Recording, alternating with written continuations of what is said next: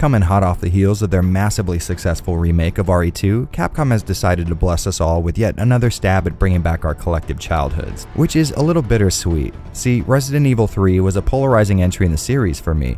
On one hand, the survival horror gameplay was some of the most well refined and well executed the series had ever seen, but on the other, it seemed like a lot was being asked of me as far as the action focus went, and given the tank controls and perspective, I just always felt like I lacked the tools to rise to the occasion. In my opinion, RE3 was hurting for this kind of a modern reassessment much more than Part 2 was, but of course that's all contingent on this remake actually being good. So is Capcom going to finally mend the rift I've always had with about 20% of RE3's core gameplay? Can they force Lightning to strike the same place twice and bang out yet another critically acclaimed AAA remake? What's up guys, I'm Jared from Avalanche Reviews. Welcome to the Resident Evil Retrospective.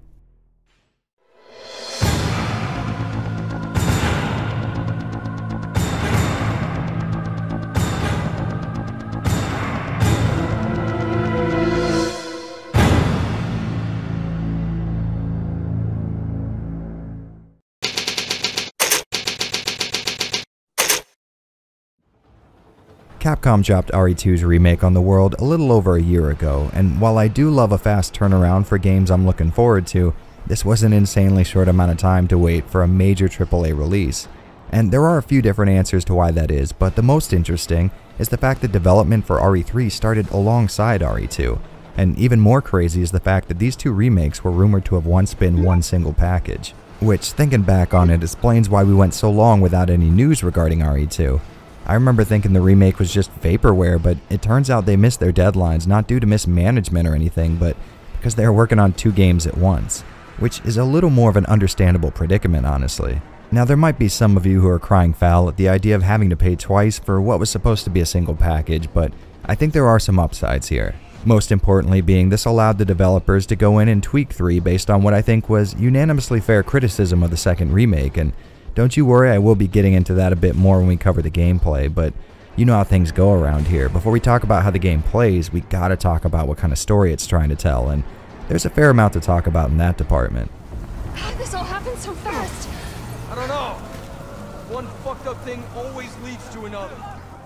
Resident Evil 3's original release did something with its story that fans nearly universally praised, and that was give a little more screen time to everyone's favorite master of unlocking, Jill Valentine. It was like an opportunity to catch up with an old friend and allowed for more of an arc to Jill's character, so if there was one thing Capcom would have to get right with this remake, it would most certainly be Jill. And in my opinion, they definitely accomplished that, to varying degrees of success. But of course, the devs were operating under a bit of a handicap. See, those of us who had been down with the series since the beginning had the advantage of seeing Jill harden in the flames of near death experiences and corporate pharmaceutical grade corruption. We saw her go from naive and ignorant in the first game to one of the few people who actually saw what was going on in the third. There was a lot of context to absorb there going from one game to the other, but Remake doesn't have that luxury. This is essentially the first time we're meeting this version of Jill. We can't exactly use the previous games in the series as a reference point since Capcom's been making changes to core events and characters in the RE universe with the hopes of modernizing it. And while I do very much like the direction they're taking the series in, it feels odd to have this be our first introduction to the new and improved Jill Valentine. That being said, I really do like Jill here. She has a rugged, survive at all costs demeanor and is given a lot of opportunities to show off how she feels about the events taking place around her. I assume we're all pretty familiar with the events of RE3 by now, but just in case you're totally new to the series, Jill and her Special Tactics and Rescue Squad ended up uncovering the illegal activities conducted by the pharmaceutical company Umbrella while narrowly escaping from one of their failed viral research facilities in the mountains of Raccoon City. Returning to their superiors with no actual evidence of their wild claims, the group quickly found out that Umbrella's reach extends far beyond what they originally imagined, and that's when the game starts. Jill and her team came back to the city looking to warn people of Umbrella's human testing and the incredibly lethal T-virus, but Instead, they get lambasted by the media, the public, and their peers at the RCPD. The game starts with some really cool Dawn of the Dead remake style live action footage meant to represent what's been happening in Raccoon City of late. It seems like some kind of viral strain has broken out and there's panic in the streets, aka the perfect zombie movie setup. We awaken Jill's shoes and see that she's still haunted by what she's been through, and right off the bat, I really like this piece of her backstory. I mean, I imagine if I had just escaped from a creepy mansion and secret underground research facility, both crawling with people infected by a virus, Well, I'd probably worry I was infected too. Waking up from her zombified nightmare, Jill gets a call from the only remaining STARS member in the city, Brad, who lets her know that she needs to get the hell out of Dodge. So she does, or at least she tries to. And not even 10 minutes into the game, we get our reveal of this remake's rendition of Nemesis, one who apparently has no issue kicking a downed woman in the ribs. After a pretty damn harrowing escape scene, we meet up with Brad and get to see the hell that Raccoon City has turned into post infection. There are cars crashing into stores, people dying left and right, and an army of living corpses spilling out from every direction you can look. Which, to be honest, is exactly what I've always wanted from an RE game. Being a huge fan of zombie movies, I've always loved the parts where they just show the effects of this kind of infestation and all the chaos it would cause, which RE3 did a perfect job of translating to a video game. No joke, there was one part in the intro where I just kind of stopped and listened to all the noise coming from people screaming and gunshots going off in the distance. It's oddly soothing in a psychopathic kind of way. Now, I know a lot of people have issue with Nemesis showing up so early in the game, but I think it works here. In the original, Brad has a chance to foreshadow Nem's existence, and we get to see just how lethal he is when he gets a hold of his target, but I would say Remake does a good job of recreating that feeling. Except this time, laser focused in on Jill. See, he's clearly looking to kill her, and he's not afraid to rip concrete out of a damn building to get the job done, so I feel like they're giving the same message. It does sort of feel like Capcom blew its load a little too early, but if you ask me, this Nemesis reveal was just as effective as the original, just in a different kind of way. Plus, it definitely follows the approach given to remakes in the RE series so far. The same story beats are typically covered, but the devs often toy with your expectations by changing their timing a bit kind of like the Lickers introduction in 2's remake or the dogs faking you out in part 1. Continuing on, I am going to be spoiling some of the story here, so click that link in the description or skip to the timestamp on screen and we'll catch up with you guys in a bit, alright? So further down the road, Jill and Brad are jumped by zombies, and after getting bit, Brad opts to stay behind, giving Jill just enough time to escape the building. Was it less epic or impactful than the original? Well, in my opinion, yes, but it does serve two purposes, I think. Not only does it offer a bit of a redemption arc for a guy who has historically been, and I don't think I'm exaggerating when I say this, a big old scaredy cat, but it also leads to one of the most powerful scenes in any Resident Evil game, hell, maybe any video game I've ever seen. Come on, man. Not you too.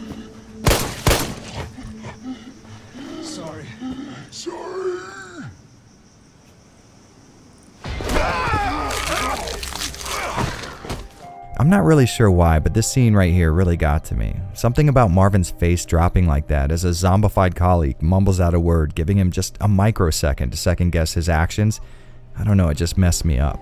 Back to Brad's sacrifice, I wish there would have been a little more fanfare or at least something resembling that big of a loss in Jill's dialogue, but I did get the idea behind it, so it might not have been exactly what I wanted, but I think it works really well. Jill, aiming to make the most of this new situation, heads to a parking garage where survivors are being airlifted out of the city, but this asshole ain't about to let that happen. So Jill does the only sensible thing available, by literally crashing a car into Nemesis, throwing them both off a building. And this is where we get to meet Carlos. Hey!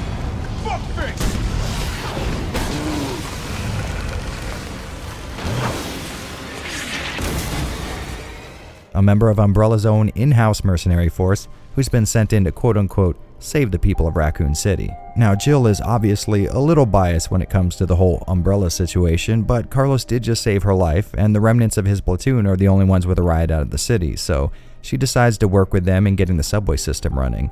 And oddly enough, that's about all of the story you really need. Of course, there are many more stops along the way, but the main drive of this plot is Jill escaping the city and avoiding Nemesis at all costs. A very simple but effective method for this kind of story, if you ask me. More than anything, this plot is driven less by a main narrative and more by its characters. Jill starts off cold and almost callous, but we get to see these brief glimpses of emotional overload. How is this fucker not dead yet? Then, towards the end, we get to see her open up and actually start trusting the people around her. She starts off her little relationship with Carlos by being sarcastic and shooting him down at every turn, Really? Way to go, partner. One step ahead. Not your partner. but as the game progresses, she starts to respect him. Nikolai, who was very cold and robotic in the original game, seems to take much more pleasure in being an asshole here. Nikolai, what are you doing? It's not after you. He's still a total piece of shit, but now he gets a kick out of it. I think this makes for a much more believable antagonist and it's way easier to hate him. And if there was one contribution this game has made to the international community, it is without a doubt the fact that they somehow made Carlos into the most lovable character in the game. It's alright, you're going ahead. I'm not gonna die on you, leave you in a cold, cruel, Carlosless world. Okay. No joke, he's a perfect 10 this time around. He's still got that gung ho hero mentality, and yeah, he's definitely still a horn dog, but those aspects of his personality have been dialed back to what I would call socially acceptable levels. In fact, voice acting across the board is off the charts in delivery and execution. The only real gripe I had was Nikolai's voiceover being noticeably lower than everyone else's. It's done. Give me the vaccine, you greedy son of a bitch. No, no, no, no. You need money. I like money. There were times when I had no idea what he was saying because the background music was drowning him out, which seems really odd because everybody else was integrated perfectly into the game. Of course, his vocal performance is still incredible, it's just very, very low, which I don't understand. But I guess there could be worse problems with a voiceover. Luckily, we got a cast that was very talented, and speaking of which, I was able to sit down and talk with Jeff Schine, the voice of the new and improved Carlos, and pick his brain about the part he played in his transformation. I'm fine. Personal space. Okay, I get it. Yeah, yeah. We uh, I did all the so the all the body work, uh, all the facial movements, uh, and obviously the voice. So that's all me. I actually I didn't know um, I didn't know Carlos as a character prior to to the game. So having having knowledge of like previous incarnations of something can be both advantageous and and a disadvantage. For me, in this particular sense, I think it was an advantage because I didn't want to have anything in mind. I knew this game was going in a, in a slightly different direction. I knew Capcom had a clear vision, and, and I knew the way that I wanted to, you know, play the guy. So in this particular case, I don't think it, it would have been helpful for me to like have a reference point. Um, I think it was better for me to just kind of like start from scratch, you know, knowing full well like you know that I would either, you know, I would I would I was comfortable at that point knowing that I would either you know live or die on those choices. You know, there was a lot of Carlos was on the page because we wanted to strike that balance. At least in my mind, was to strike that balance between someone who's highly capable, you know, can can handle any situation and you feel confident in his abilities but you also feel comfortable around him and he's kind of he brings a little bit of levity. You know again a lot of it was on the page. It certainly came that way. And then i think you know once i started once we were on set um, and we were all sort of observing the way the character was moving i think we all just naturally really pushed in that direction. So i mean yeah i mean i would say to some extent some of that was was you know things that i brought to it as well I don't know that I'll ever my my entrance into a game will ever be as cool as a rocket launcher on the hood of a car saying "Hey fuckface." Hey! Fuckface! Yeah, yeah, I'm actually a huge gamer. Um, I play I play more than my wife would like, I think. Uh, I I do a little bit of both, to be honest with you. I mean, right now I think like you know with I have a, a little bit of a limited time, but um, so a lot of what I'm playing currently is like a lot of new releases and stuff like that. But um, I love the old stuff. Voice acting is you know is much less about the voice itself. You need to have something underneath it too, right? Like there has to be the the acting component, the character component as well. Otherwise, a cool voice gets old really fast. Yeah, I'd be happy to. If that if that opportunity ever came around, I'd be happy to. It's a great franchise. I mean, I love the franchise and I love Capcom, and um, I think it's a great group of people. So yeah, that's an easy, that's a no-brainer. Don't worry, I'm not gonna go and leave you in a cold, cruel, Carlosless world. Giant, infinitely large thanks to Jeff for spending a bit of time talking with me. That was really damn cool of him. But heading back to the story, I'm going to go against the grain here and say this is my preferred RE3 narrative. It still has that charm that the original brought to the series, but it feels perfectly in line with the more dark and realistic direction Capcom has been taking things. Plus, it has these great ties to the second game that really pulls things into this really cool singular narrative. The world they built here feels like a big step up from how sectioned off Raccoon City felt in 2's remake, and it seems like everyone, including Jill, has had elements of their character tweaked, and the result is a cast of characters that are much more likable and real feeling than in the previous game, which is really saying something. Honestly, there were more than a few times in my first playthrough where I was just touched by how emotional the scene was, and that's a really hard trick to pull off on me, so I appreciate the hell out of it. I also think they went the extra mile by including some absolutely killer world building in the form of files that can be found. Just like in the originals, these little tales push the overall feel of the story into more fleshed out waters. Of course, it would be insane of me not to mention the absolutely jaw dropping facial animations here. I will get more into the technical side of things a little later, but good god, do these faces carry the entire experience. The emotion of each scene is very clear to see, and these facial expressions honestly sold me on the game's story. They were much more expressive than those found in RE2, and I don't really know if that's because of better tech, better actors, or both, but either way, I was massively impressed. And I think massively impressed is exactly how I feel about this story overall. It was a short experience to be sure, but it was also a much tighter structure than the previous remake. It felt like there was never any downtime, and whenever I would start to get tired of my current location, the game would jump in with a storyline cutscene or some kind of environmental change that would have things feeling fresh again. Just like 2's remake, 3's story was incredibly fun for me to experience, and thanks to some amazing acting both physically and vocally, what's here comes across in a very earnest way. The original RE3 may not have given the developers a whole lot to work with as far as the narrative goes, but they really pulled off something awesome here, and managed to bring back that old Resident Evil feeling. And as such, the story gets two big thumbs up from me. Oh, and just in case anyone from Capcom may be listening, hi, thanks for tuning in. And would you please, for the love of God, stop teasing me and give me a satisfying conclusion to the Robert Kendo story? Please. Thank you. Shit, Jill. Kendo, you're alright. You're all right to stretch. And here's where we get into the interesting stuff. As someone who has completely stayed away from any trailers, leaked info, or demos for RE3, I didn't really get a feel for how people were liking it, and now that I finally finished it, I'm hearing a lot of negatives. And to be honest, I have my own, but before we get into that, what exactly are we working with here? Which, luckily, is a relatively simple question to answer. Take the gameplay of RE2's remake and apply it here. It's still reminiscent of that original survival horror gameplay to a staggering degree, and it's still incredibly impressive if you ask me. The ammo conservation, limited inventory, atmosphere driven scares, the zombies and BOWs, they're all here and they have no business being translated this well into a more modern gaming framework. At first, you're given a small chunk of Raccoon City to explore, and I was beyond pleased to run around in this city turned upside down by the dead.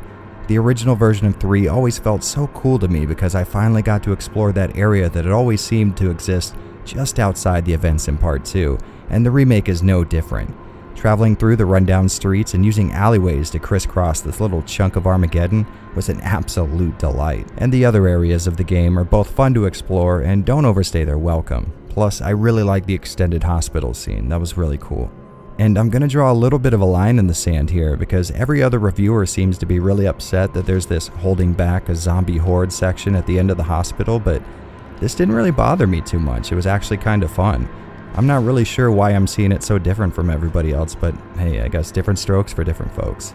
Item fetching and backtracking are still as satisfying as they've ever been in a survival horror game, and the environments do an amazing job of multiplying that satisfaction. Thankfully, puzzles have also made a return, but sadly, they're even less present than in the last remake. This was a little disappointing for me, honestly, but I doubt very much your average owner of a current gen console is demanding more puzzles in their games, so I'm probably in the minority there.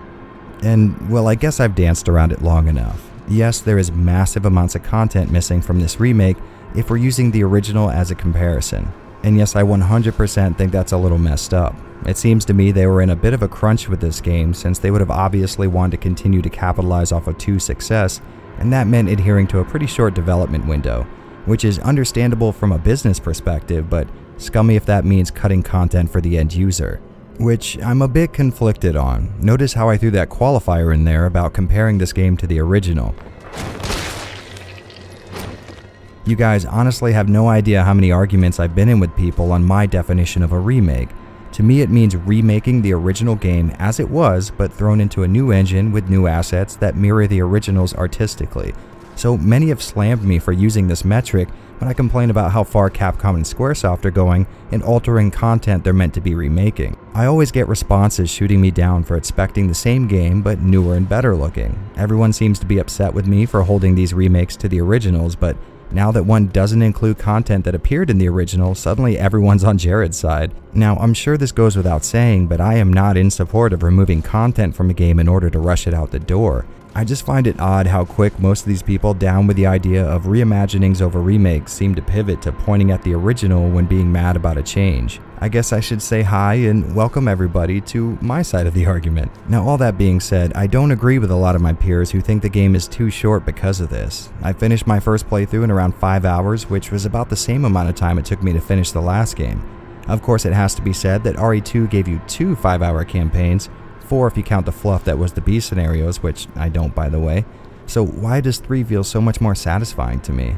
I know there were whole sections, bosses, and a lot of other stuff axed, but maybe this is why 3 had so much better pacing than 2 did. Maybe due to the lessened content, or maybe due to a better eye for game design. Either way, this game felt like it lasted exactly as long as it needed to. The pace kept a forward momentum that almost never stopped, and the story was always there to kick me in the ass every time I started to get tired of my surroundings. Where the RPD in 2 had us spending a good chunk of the game in one giant area, 3 has us constantly changing areas, and the smaller main environments make for a feeling of constant progression. In 2's remake, that would come from unlocking a door to a new room in the precinct or the lab, but in 3 we're moving to a whole new area fairly often. Of course, I do have to mention that some of those scene changes just land us in reused areas from 2, but hey, that also happened in the original, and I like it in both. But stop the presses and inform the masses, Resident Evil has a soundtrack again. It was a huge gripe of mine in the last game that Capcom replaced the series' most iconic OST with a very dry, low melody that never quite sounded like a song, and in 3 that is exactly what's on offer, up until the scene introducing Nikolai. After that cutscene ended, I was treated to an amazing rendition of one of my favorite tracks from the original, and it was almost dreamlike. I didn't really know what was going on, and by the time I figured it out, I was in heaven. And to my absolute joy, the musical homages did not stop there. It's crazy how much more tension I found in this game with the addition of the old soundtrack being remixed in the background.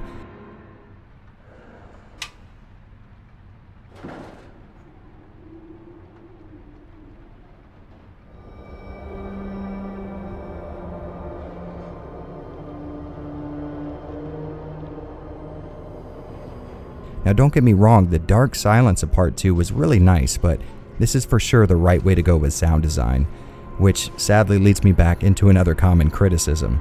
And that is the idea that this game is far too linear. And yes, it absolutely is linear, but every RE game ever made has been a linear affair.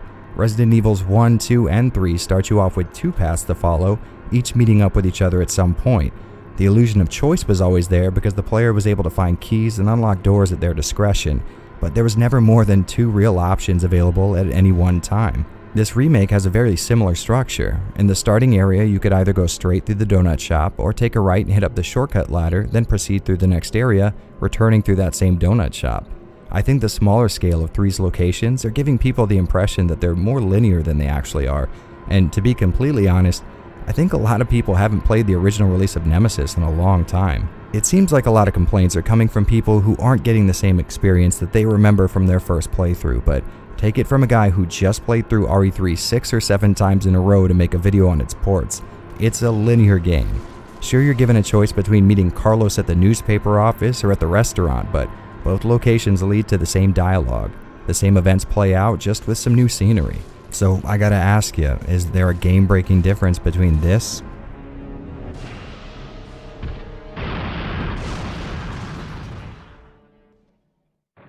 and this? And sure, the original Nemesis would allow for choices to be made at certain events, but I have an honest question. Is the difference between climbing up from this hole or jumping down into it the reason you replayed Resident Evil 3? Or was it how much fun you had during your playthrough? Was entering the Umbrella facility from the front an entirely different experience from going in through the sewers? For all I know, that actually is the case for you, but I can tell you from my perspective, those were never a draw for me, so they're not exactly something I missed in this remake. That being said, I would have liked to have seen at least one alternate ending. I've always said that I would prefer a tightly woven single narrative over a messy one that has to account for several player choices made along the way, but a bad ending would have been a nice inclusion. So, to wrap up this little rant, yes, there are parts of the original missing here, and that is kind of crappy, but I honestly think the experience is a much tighter and more efficiently designed affair because of it. Yes, I of course would have loved to see more content, but I'm not completely sure the developers would have been able to retain the same great pacing if that was the case. So I definitely think it's important that you formulate your own opinion there, but in my book, they made a small amount of resources feel just as plentiful as the original. But don't you worry, I do have another controversial sticking point to talk about, and you know damn well what it is.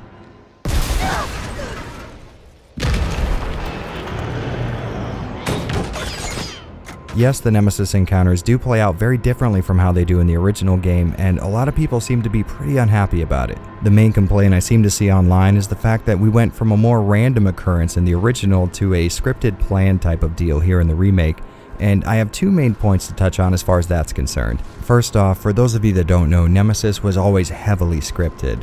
Acquiring certain key items would always trigger a Nemesis spawn, and there was very little variation in where he would actually show up without a cutscene. And as a matter of fact, that variation made the game a real pain in the ass for people trying to play it like they would any other survival horror game.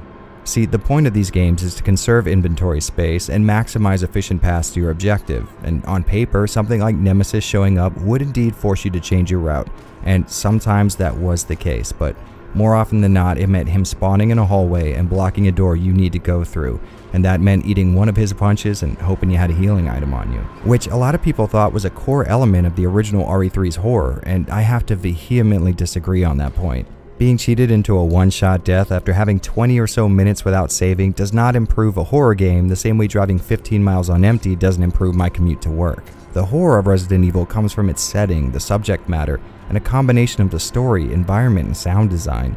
Horror isn't an element in the gameplay. The thought of losing progress is not a mechanic, it's a result of you either playing bad or the game being designed bad. Now, difficulty is without a doubt key to a satisfying video game experience, and sometimes that means the player is going to die, but I'm less likely to want to master that difficulty if I think I died as the result of an off screen dice roll and not my own actions.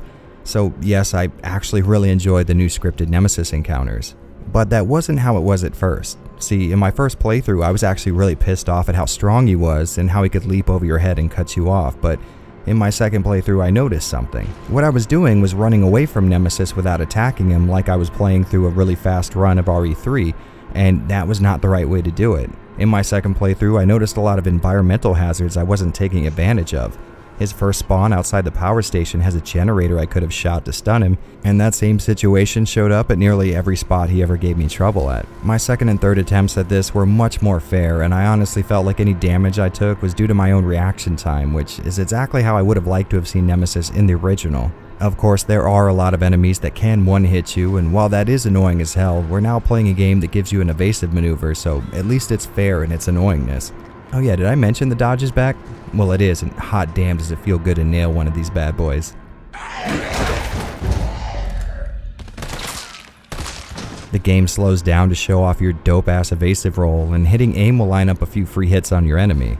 If you guys will remember, the dodge function's ambiguity and inconsistency were major sticking points for me with the original, and while it's much more reliable this time around, there were still these moments where I took damage after dodging at what looked like the perfect time. And I think this might have been an intentional move. It's clear a lot of effort went into revamping this maneuver without making the game a cakewalk as a result.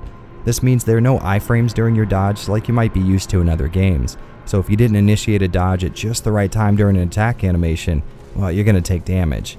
You could of course use this to move out of range, which can work sometimes, but more often than not, the frames of recovery that comes with it will put you in a similar position to the one you just got out of. I do feel this dodge could be tweaked a bit to feel more consistent, but an improvement's an improvement, and I have to say dodging was way more fun and rewarding this time around. In my limited complaints with the last remake, I listed damage output as a big issue of mine. Getting more than 5 or 6 headshots on a zombie just to have them get back up and take another 5 or 6 while I was dealing with 3 of their friends was annoying as hell, and it seems to me that Capcom has improved on this. For most of the game, zombies went down with a lot less effort, which left me feeling way more confident going into fights, which is always good, although I still do have a few complaints. First off, there's this weird delay where you can down a zombie and then knife them one or two times to make sure they don't get back up, and sure enough, when you walk back over them, they're going to grab your leg while you're trying to take out any other threats. Seems like three knife strikes are required to get a reaction on a grounded zombie, and that feels a little cheap to me.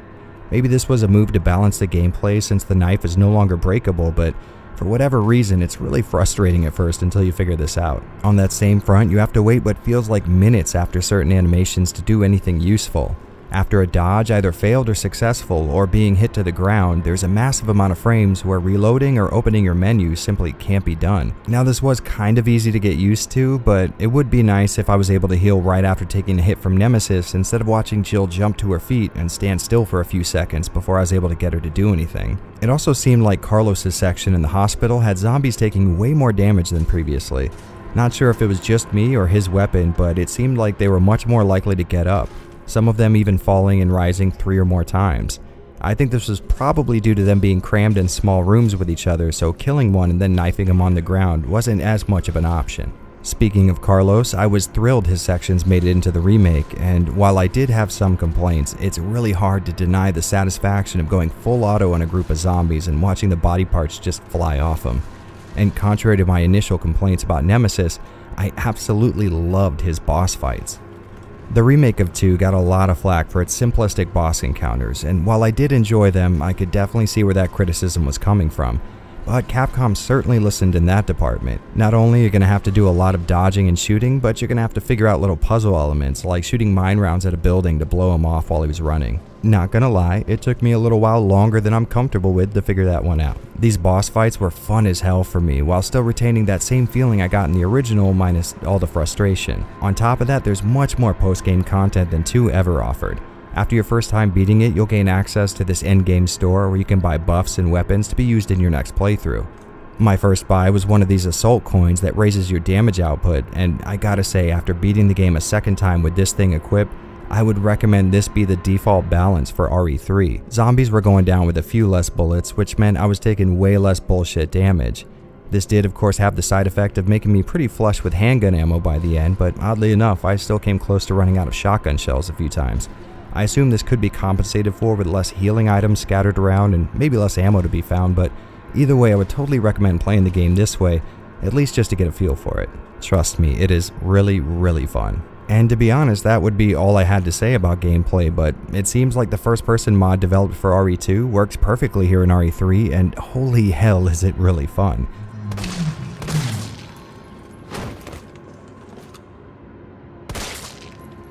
It definitely makes dodging a bit more involved, but I actually kind of liked how it forced me to learn the game in a new way. If you're playing this game on PC, you have no excuse to not try this mod out. Enabling first person mode and ditching the heads up display makes for an experience even closer to survival horror gameplay than the base game offers, and the immersion is just next level. Try it out, trust me, it's really, really cool.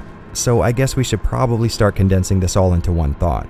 Yes, this game is missing a not insubstantial amount of what was in the original, and I was indeed a fan of a lot of the stuff that didn't make it into the game. Nemesis is now fully scripted, and he only shows up in very specific scenes, and I do indeed think this was a much better direction for him, or at least it fit the game we got much better. All that being said, this was an amazingly fun playthrough. The combat, backtracking, and exploration still felt great despite what was missing. I would have loved to have seen a lot more puzzles and maybe one more major area, but me wanting more of a great game isn't necessarily a downside. Thanks to either a lack of content from the original game or a better trained eye for design, the pacing and flow in this game feels rock solid. Each area ended exactly when it felt like it should have, and the constant forward momentum helped me feel like I was always making progress. The scant amount of optional backtracking that can be done didn't overstay its welcome, and I really appreciate that. I do of course understand that a lot of this has now fallen into a value-based argument though. The economy being the way it is, no one wants to waste $60 on a game and I do 100% get that approach. And that puts me in a bit of a rough position. The value of a game is such a subjective metric, one that differs vastly from person to person, so I guess in the end that'll be up to you, but I can say that RE3 was a worthy purchase in my book. I'm currently on my fifth playthrough and the charm hasn't worn off for me yet. I think the combination of its killer story, tight pacing, and improvements on the rewarding gameplay I love from Part 2 forms one hell of a fun video game. So if you're struggling with money at the moment, just know a game's length isn't always a determining factor in its worth. I mean, 5 hours is the baseline for a survival horror game, or at least one where content hasn't been cut out of it. But if you can't imagine a world where you're not fighting a giant worm in a graveyard, maybe wait till it goes on sale.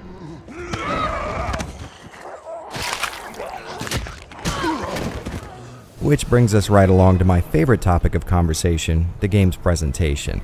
Now, Capcom's RE engine is well known for being both impressively powerful and surprisingly well optimized, and RE2 got my vote for the best looking modern video game I had ever seen before, so I'm not going to string you along for some type of dramatic reveal. RE3 improved on that game's graphics in almost every conceivable way, making this the most impressive looking game I have ever sat in front of. And since I went so far in depth with my review of RE2, let's talk about how this game improved on my complaints from that video. First among them being the granular look that RE2 had at 1080p. I couldn't quite put my finger on it at the time, but everything sort of looked like a dot matrix print, kind of like you could actually see the small pixels that made up everything you were looking at. Jumping into the game on console definitely solved this issue thanks to the overall softer and less complicated picture, but I wanted to see this game at max settings, and sadly, the better it looked, the more obvious this issue became. And in my opinion, Capcom did an amazing job of mitigating this in 3. The same wonderful eye for artistically pleasing graphics is present here, but minus that granular speckled look. At least, mostly. It's still very much present in very fine details like hair, but bumping the image scaling up can definitely help here. Sadly, I have not found a combination of settings that totally gets rid of the issue though. I also thought that there were times when facial animations could look off in 2's remake, but oh man did they fix that issue here. I can't think of a single scene in 3 where I wasn't blown away by how convincing these animations were. It seems like the devs got much more familiar with their tech in between 2 and 3 because there seems to be more points of articulation in every moving part of 3's faces. Now, it is a little hard to quantify, but it just felt more real to me this time around. The damage you deal to enemies seems dialed back a little bit, which might seem like a bad thing, but I always felt like it looked a little off in 2. After a few headshots, I would see a lot of weird yellow or orange tones, and that doesn't really seem to be the case in 3, or at least not to as large a degree. The environments are just as stunning as they were last time around, but this time show off way more of Raccoon City. In 2, the short glimpses you got seemed to disappear into the darkness and didn't really give you a feel for how the rest of the city looked, but 3 has a much brighter color palette. This means you get a good look at your surroundings, and just like before, there are some of the best looking environments I've ever been in. Every crashed ambulance or piece of pavement wet with blood is represented with gloriously gruesome detail. And in my strangely specific, hyper analytical opinion, the most exciting thing to talk about is that Capcom seemed to have ditched the adaptive lighting levels from Part 2, or at least that's what I call them. And if you don't know what I'm talking about, load up a game of RE2 Remake and stand in one area. Then turn your camera towards a section of the room with more light than another. You can actually watch the game slowly increase or decrease the amount of gamma and brightness on the screen, and it's a relatively slow process, which always kind of irked me. Well, I'm glad to say that's no longer an issue, so congrats to the four or five people who ever cared about that. We do, however, have to talk about the main controversy that was making the rounds back when this game was announced. It seemed like a lot of people didn't like the redesigned look these characters had, but I was always kind of indifferent to them. Sure, they're not what we're used to, but they do fit the new direction Capcom seems to be taking the series in, visually speaking. I don't know, something about this modern, realistic look just does something for me. I think it works really well. And I know I'm in the minority here, but I think this is the best Nemesis we've ever seen. It's kind of weird that he's got a sideways nose, yeah, but we are talking about a guy with half of his face stapled together. It's not exactly the strangest thing going on here. Plus, the new look really accentuates his animalistic nature. Every scene he shows up in makes him look like he's powered by a nuclear arsenal of just pure rage. But even though I really like the way everyone looked in pre-release media, this really just comes down to personal preference. I did however notice there might be some subtle changes since then. The art circulating around the web as early as a few months ago seemed to show Jill's hair looking slightly different and her face having a more squared off jawline compared to what we saw in game. Carlos also had some changes made, with his face looking a little more round and baby smooth in the early days. Regardless of their changes though, every character in this game looks absolutely stunning in my opinion. I'm not sure how they made such large strides in the engine given the short amount of time in between 2 and 3, but the difference in lighting, facial animations, and small details is just clear all around. That being said, I did notice some issues both new to this game and ones I noticed in 2. Like I said before, 3 mostly fixed the issue that 2 had with very grainy pixelated looking graphics, but you're still going to see this in fine details like hair. There's some far off shots where you're going to see this a lot and it's going to be pretty distracting, or at least it was to me. It does get much better with an image scale of about 150%, which makes sense as the picture is getting super sampled, but not everyone's going to be able to run the game at that high of an internal render resolution. Just like in the second remake, lighting is an absolute marvel, but you are going to see scenes that add a hazy, smoky look over what should be a much darker black. I'm not really sure why this is the case in both games, since there are plenty of spots that are lit perfectly, but every once in a while you're going to see a dark hall that's more gray than black, which is kind of annoying. and sadly, just like last time, screen space reflections are broken across the board. The reflections caused by this effect are inconsistent and very pixelated. They may disappear when you hit angles the game can't calculate, and they add a smeary blur across every surface they're projected on. If you're playing on PC, I strongly recommend you turn this feature off right at the start. Trust me, the terrible reflections aren't worth the performance hit, and you'll still get localized light sources reflecting off the environment, so you're not going to be missing out on anything important, I promise you. Of course, it would be criminal of me not to point out the rampant reuse of RE2 assets in 3. Nearly every zombie in the game will look familiar to anyone that's escaped the RPD recently, and that's on top of it using assets that were already borrowed from RE7. These boxes, the inventory screen, and the yellow tape are third generation renders at this point. And yeah, I guess it would be necessary for a game that came out in such a short release window, but no one forced you to put this game out so soon, Capcom. I'm sure we all would have been more than happy to wait another year if it meant getting more original content. I do want to point out that this didn't really bother me too much, but this is a $60 game and there are certain expectations. And having a new cast of Deadheads would have certainly made an amazing experience even better. And on top of that, it seems like there are less of the unique animations that will play when downing a zombie. 3 uses a very finite amount of these animations and they all feel a little more pre-baked than before, which leads to zombies not interacting with the environment as realistically as they used to. And speaking of which, there's this odd issue where animations will skip what seems like most of their frames depending on how far away you are from an enemy. You won't see this too often, but this scene here with the zombies behind the fence shows it off pretty well. See how shaky the movements are? It's kind of odd, but I assume this goes towards saving precious resources, or at least that's the only thing I can think of. But even though this list of issues was pretty damn long, they are just small things I noticed, and all things considered, that does include the downsides, this is the best looking game I have ever laid my hands on, and the sheer amount of noticeable improvements over Capcom's last RE game is absolutely staggering. All of the beauty of the last game is here, but improved on and lacking in a lot of the flaws. The shiny wet look that covered everything in 2 has been dialed back and now only applies to things where it makes sense. The facial animations are several steps further than anything seen in the game, and the particle effects are even more believable. Luckily, there are the same bevy of graphical tweaks here on the PC version, and even though you don't see this as much as you'd like, a visual indicator of when you're overworking your machine's assets is always appreciated. Thank you very much for that, Capcom. And right about here is where I would compare the console version to the PC release, but this game managed to come out in a time when most places are shutting their doors in fear of a very T-virus-like outbreak, so it looks like we're gonna have to wait for that level of analysis. Now, I can't personally confirm this, but based on what I've heard from the internet, base model Xbox One seemed to be showing some type of frame rate issues, which is never good. You know, this engine always impressed me, and I'm a little disappointed I can't see how well it works on my own PS4, but oh well, no use crying over missed console ports, I guess. So, presentation wise, RE3 is absolutely gorgeous, there is no denying that. It took the incredible graphical achievements of RE2 Remake and improved on them by such a degree that I assume there was an entire console generation in between their respective releases. If you're anything like me, the focus on lighting and small details will give you a nearly infinite amount of cool effects to drool over in every part of the game, but rest assured there's something here for everyone. The animations are still top notch, the game looks incredibly smooth when running at above 60 frames per second, and the realistic faces slash acting is convincing to a scary degree. And you know what? I don't care what anyone thinks, Crooked Nose Nemesis is without a doubt the best Nemesis.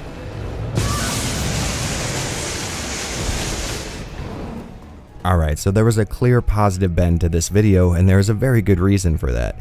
This is an amazingly fun game. I was genuinely blown away at how engaged I was the entire time playing it, and even now on my fourth or fifth playthrough, I am still loving it. Going back and looking at other videos, there have been a few sticking points made by other critics, and I'm not saying they're wrong in criticizing the game on its length or cut content. What I am saying is RE3 is incredibly fun despite those issues.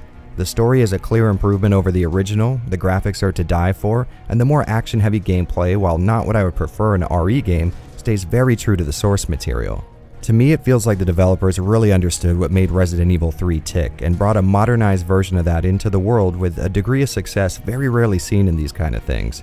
There's no doubt that more work could have been done to it, I'm not going to sit here and deny that, but that doesn't mean there isn't a supremely enjoyable remake to enjoy as a result. If the game's length is a major sticking point for you, keep in mind a game doesn't necessarily need to be over 10 hours to be enjoyable. I'm sitting at about 20 hours of overall playtime right now, and I have no doubt I'll get another 10 hours in by the end of the week, so in my estimate, I got my $60 worth. But of course the old hours long versus satisfaction gained argument is going to go a different way for everyone. So if you think a 5 hour game just isn't worth it right now, I totally get that. But if anything I ranted about in the video perked your ears just a little, I'd say go ahead and take the plunge. Resident Evil 3 continues Part 2's tradition of reimagining the OG RE games and implanting them into a new generation's worth of nightmares. Now, of course, you guys know my position. It would be all tank controls and fixed camera angles if I had my way. But the remakes coming from Capcom have proven that the original RE formula is a little more pliable than I once thought. It still works here even under a totally different framework, so I guess what I'm trying to say is I gotta get out of here so I can play more RE3. But I have some more retrospective related content in the works, so don't worry. But until then, I hope to see all of you again right here on the Resident Evil Retrospective.